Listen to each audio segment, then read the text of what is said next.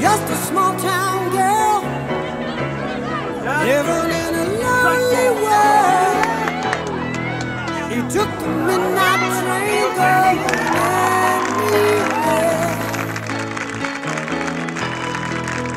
Just a city boy, born and raised in South Detroit.